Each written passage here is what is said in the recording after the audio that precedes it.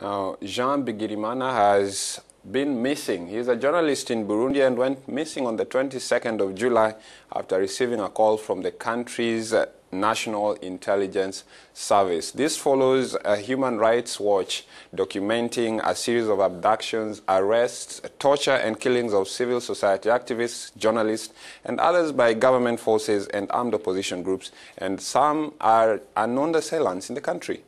Bigirimana was reported missing a few weeks after his return from neighboring Rwanda, where he had gone to attend a journalism training course. According to Iwacu, the daily he worked for, officials from the intelligence service are the ones who arrested him. Security forces have also said right from the beginning Bigirimana is not in the hands of the police and that he was not arrested. We head to Bujumbura now, where Leandre Sikuyavuga, editor-in-chief of the Iwacu Daily, joins us to give us more. Since his disappearance, you carried out investigations. What did you find? On Saturday at 2 p.m., a source informed me that there would be a dead body in a river where Jean was arrested. A team of journalists was dispatched to the place at the end of investigations, and that's exactly what they found. They could hardly identify the corpse since it was already in bad condition. And then the place was very rugged, so we could not easily go and see the body. We carried out our own investigations because because the police or the National Intelligence Service said they, they did not know the whereabouts of our journalists. But with the testimony of the herdsmen who are around the area, we cannot conclude that it's him. But still, we doubt the identity of the body. And up to now, the police and the intelligence service still say the same thing. It's only the Independent National Commission of Human Rights who went with the team on Saturday, but they did not find anything.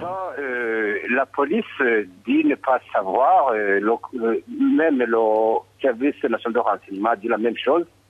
Il n'y a que la Commission nationale indépendante des droits de l'homme qui So officially, no information has been provided. Mais officiellement, donc, rien ne filtre. According to you, why did he disappear? C'est difficile à expliquer. It's difficult to explain. Iwacu, Iwacu had sent a team of journalists for training in Rwanda. He was not the only one. When he was a journalist, he interviewed Burundian journalists who were seeking refuge in Rwanda. A story asking them how they lead their lives there and that could lead someone to just disappear like that. It's not known amener quelqu'un à être, je ne sais pas, à, à disparaître comme ça. On. Mais nous, nous attendons. But we are, uh, we are waiting on the authorities.